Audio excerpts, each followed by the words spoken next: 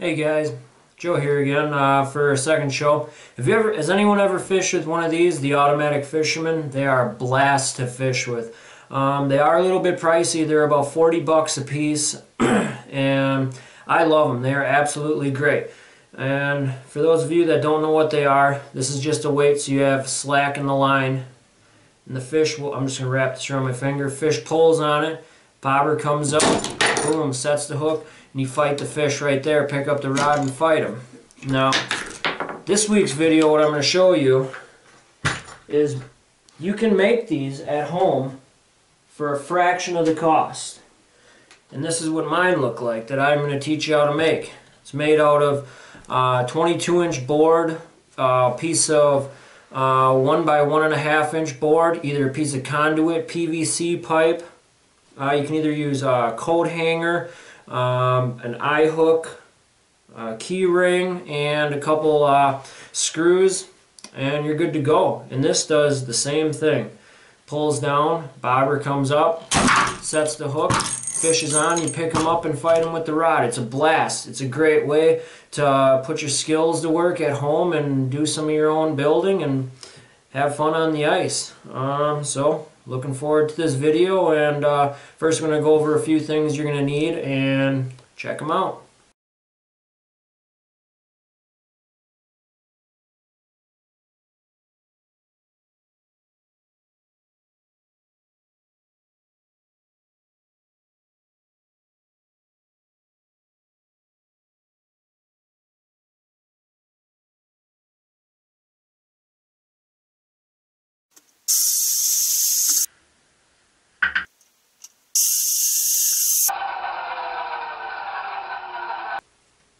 Alright, now that you cut your boards to 22 inches and 5.5 inches, I am using this side of the board down here as my back.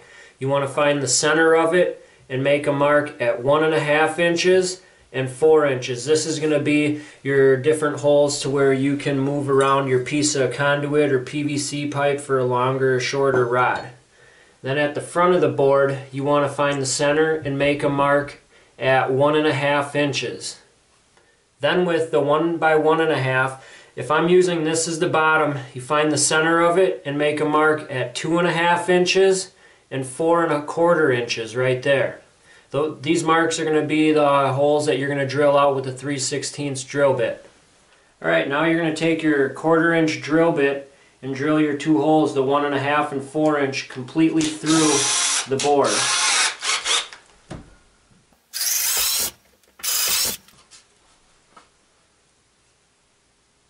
Like so.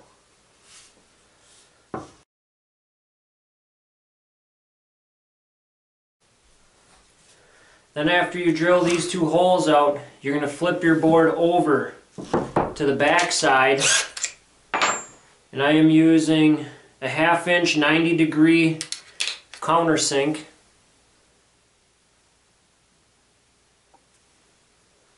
And you countersink both those holes down about 5 eighths of an inch.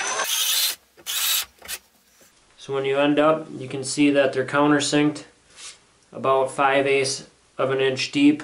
It's just an estimate, it doesn't have to be perfect. This just gives the uh, nut room so that the nut sits flusher to the board and holds tighter.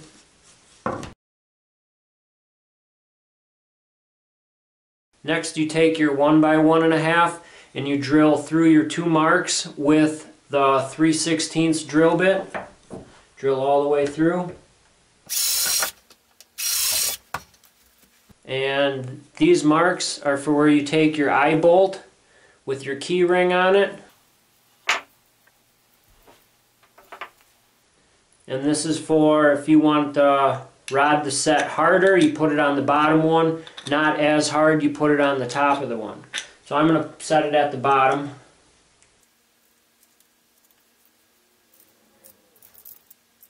And you want it to look like that.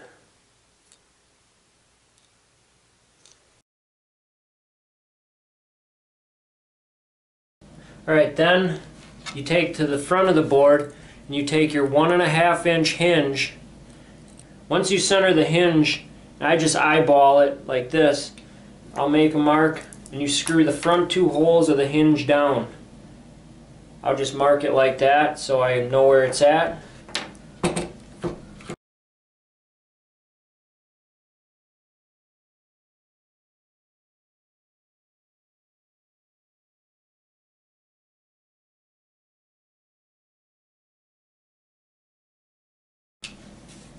And then this is what you're left with. I got the front two holes centered as best I can right there so that the bottom side of the hinge can flip up like that. Now that you got it screwed down, you take the you take it back out. Now you got your holes where the hinge is going to go.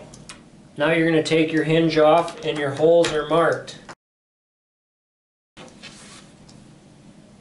Like so.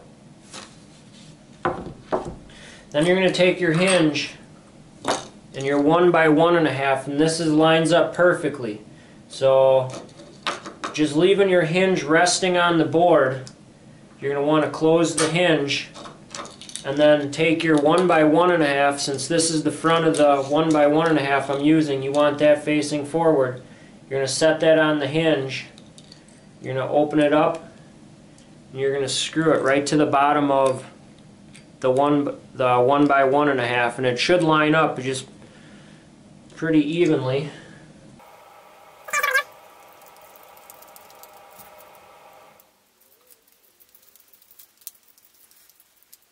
So this is what you got now. Your one by one and a half. The hinge screwed on the bottom. Closes and opens. And then you take that and you screw it down to the board now with the two remaining screws and it's simple now because you got it lined up. So this is what it looks like now that it's screwed on there. And you can see this stands up and falls over. Here's a different angle. So you can see how it's screwed on there. Falls up.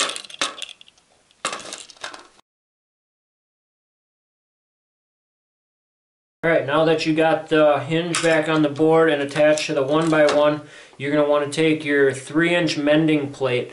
Um, it doesn't have to be a mending plate, it can be any type of metal with uh, just two pieces, something that the hinge cannot close all the way, and it creates back pressure and has the hinge fall. So what I do is I just lay the, I'll lay that right on top of the hinge and I will center it as best I can. And again, it doesn't have to be perfect. And then I'll take my Sharpie and you want to mark just the outside holes so that you know where to drill your pilot holes at. So take the mending plate off and you use your 5 30 seconds drill bit to drill the pilot holes for the number 12 screws. And I drill down about a half an inch with that drill bit and that's just a good start for these 3 quarter inch number 12 Phillips screws.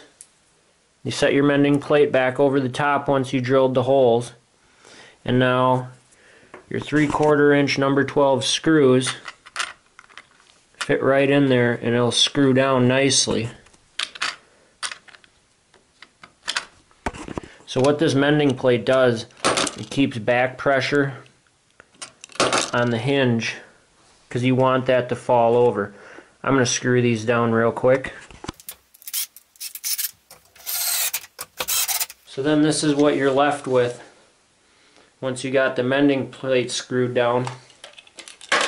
It puts back pressure on the hinge and it falls over. I recommend using stainless steel hardware due, due to that you are going to be fishing with the stuff. It is going to get wet and there's less corrosion on it. You don't have to. Um, you can save money by just using stuff you have around the house, but I went out and bought all stainless steel mending plates, screws, everything on here is going to be stainless steel except my 7 inch piece of conduit that I'm going to attach to the board back here so that I can put my rod in. Alright, now for attaching your piece of PVC pipe or uh, conduit. I am using a piece of conduit that I made into a fishing rod holder for an ice shanty. Um, it's one and a quarter inch inside diameter and it's just, I flattened one end of it and drilled a hole through it like that.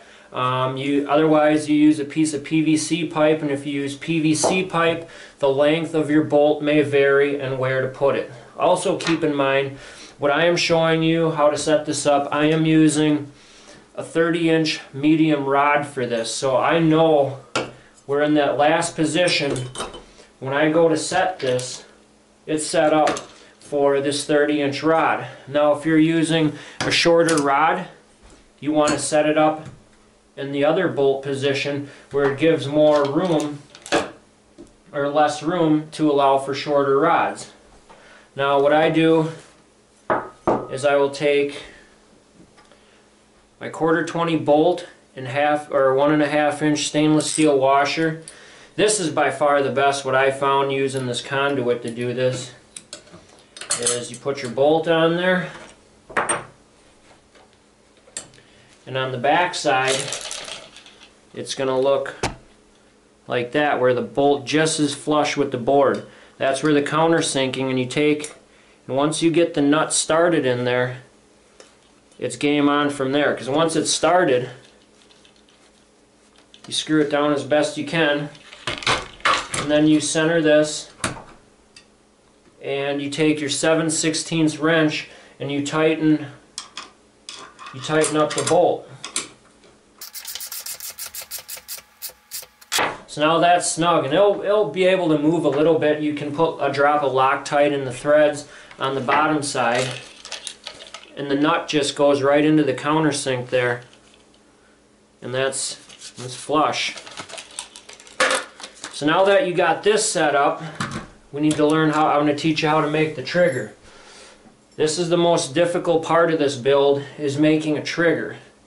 Um, I use stainless steel 1 16th rod for this because I converted everything over to stainless steel after using these for a while.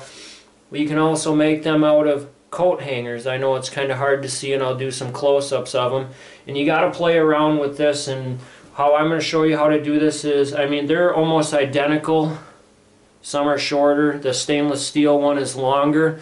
And they do the same thing. Um, and this will be attached to the key ring.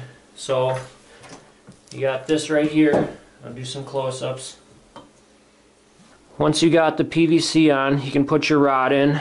This will sit up and your rod will bend down and attach in to these triggers. And you, you, can put them next to each other and this is where you have to adjust it to how you want it whether you want it lighter. If you want a lighter trigger you have to bend this piece down or that piece more straight. And it, you can set the sensitivity on it. Um, and I'll show you how to do that once we move to the basement because you're going to need a vise and a drill bit and a couple pairs of pliers to do this. And Here's the close-ups of the conduit. It's screwed in right there. And the back side. You can see the nut is and bolt are down inside the board flush. That's what the countersink is for. And we'll move to the basement to show you how to build your trigger. Alright guys, this is what I'm doing. I recommend if you haven't done this before or bent around any type of metal, um, I'd get a couple extra pieces to use. This is 1 16 inch stainless rod in 1 foot sections. Um, I'm using a 7 seconds drill bit that I'm just going to put in this vise with the bit side down. And this is what we this is the finished product, but this is what we're going to do first is we're going to make these two loops in it like so with about leave an extra I don't know I'd say extra four inches hanging out so there's two ways you can do this you can go like this so that if this is your four inches right here that you're gonna leave out what I do is then I'll take it and bend it. And this is difficult. It's going to want to spring back and spring all over on you. And you want to try to get the wrap as tight as possible. You're going to have to overbend it so that you're left with a piece like that. And now you can bend the rest. And you're going to have to find on your rod and reel on uh, how to bend it and which way works the best. I found once that you got these two coils in it, I'll take a pliers and I'll squeeze them together. You can also heat them up with a torch and then squeeze them together. It's similar to vaping or making vaping coils. But then I will take it and about an inch up I'll put a little bend going downward in it. I don't know, so I don't know if you can see it that well. But right here is the coil. And then I bend it downward just a little bit. And then once you get go up about another half inch, and this is where you're going to want to make it a real, real steep bend. I'm going to bend it about 45 degree angle like so and then you can take this and it takes a little practice bending all this stuff up but this is what I found that works the best. And then this piece right here will be cut off and don't worry if it's not straight right away you can straighten it out and and bend it around. It does it is pliable so now that you got this I have to get my other pliers for this. And then alright I got a needle nose pliers now. Now then you want to take the piece that you're going to be sticking in your eyelet, you want to leave about 3 eighths inches sticking up, maybe a little bit more. I mean, it's all rough estimate, and you want to clip that off. So then this is what I'm left with right here, is something looking like that. And then I'll take a file and file down the sharp edges from clipping it off. And then I found that with your remaining piece, you're going to want to make kind of a goofy U. So you take the needle nose pliers right at the tip, and you got about an inch sticking out. You want to bend that over. All the way over. So it looks like this. And then once it's bent over, you want to take it and bend it back out. You want to make kind of almost a W looking shape.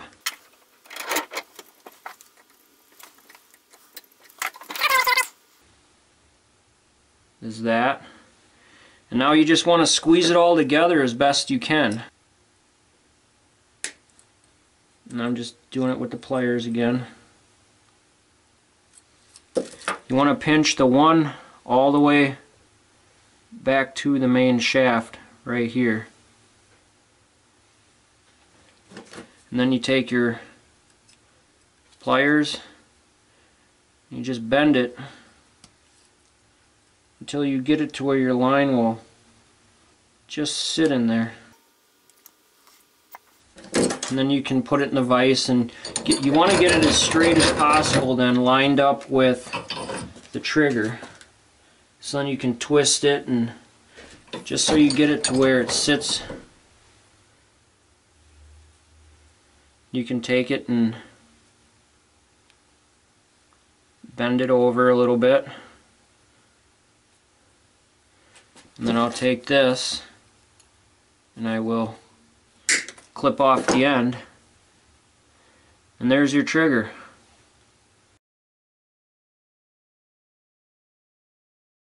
Alright, with the trigger we just made, you take the trigger and you put it on the key ring. So this is what we got.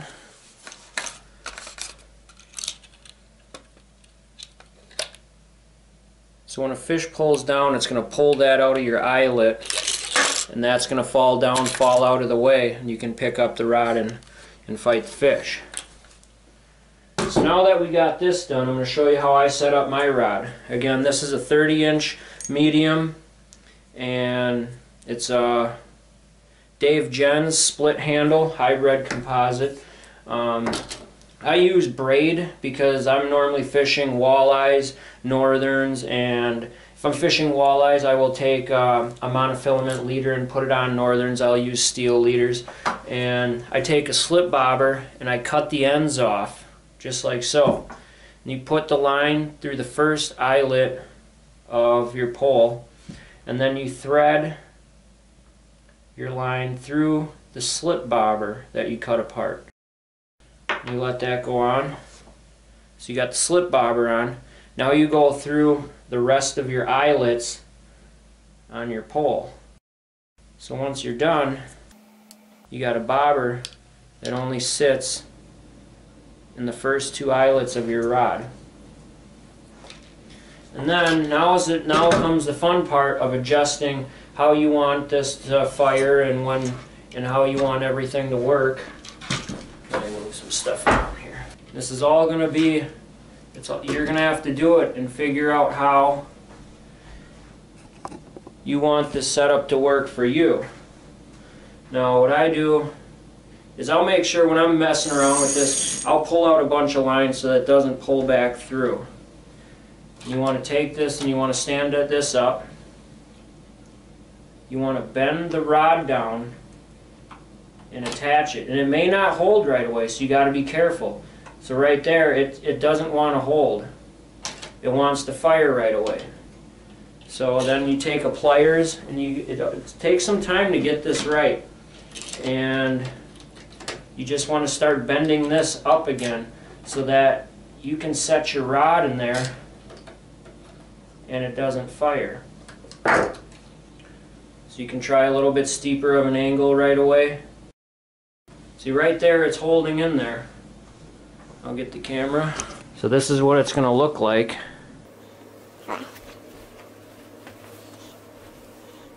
And then your line's going to go through and I'll wrap the line around and then you got to bend this part up so it sits straight. So what happens is the fish will pull, pull the line, the bobber gives him room to run. And when he pulls down on this, and that's where it's bent too tight. See it won't fire right there? So then you got to go back and rebend it. So I just went through again and I bent it all back and see how I think would work better. And you hook it on there. You want your line to go through. You want remember this is going to be your ice fishing hole right here. So then I'll wrap this around my finger. And this just gives the fish room to run with the bait so they don't feel tension right away. Once they get the right here, they've already had a good amount of time to take that bait. When they pull down on it, that's going to fire and you got the fish right there. And you pick them up and fight it. Alright, here's the close-ups of it right here. Again, this is how the trigger is going to look. The line I'm going to set right on the one side of the U. Let me wrap this around my finger. Fish is going to pull. It's giving them time to take it, and then once they get to the end here, and you can adjust this to where it's a hair trigger or where they have to pull on it a little bit more. If you're using this for northerns, I suggest using a tighter, tighter trigger. And uh, walleyes, I would have it set at a little bit lighter tension for it to go off. And I uh, hope you enjoyed the video. Um, it was great fun doing this and teaching you guys how to do this. And if you have any questions or comments, uh, let me know.